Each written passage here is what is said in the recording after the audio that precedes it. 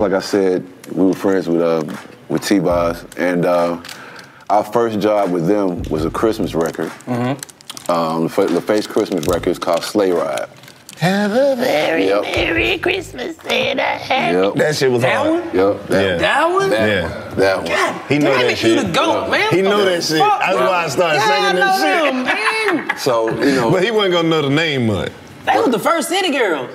If you think about if you think about If it, you yeah. think about if it, you think about it, yeah. yeah. They had a whole song.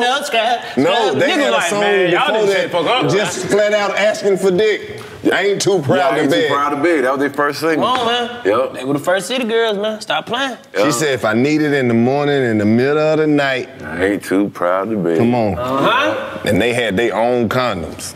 Yep. Only uh, yeah, left I used to wear it. On Come my on. glasses. Yep. Sure damn did. The yellow. So did. Yo. So that was when our uh, our first uh,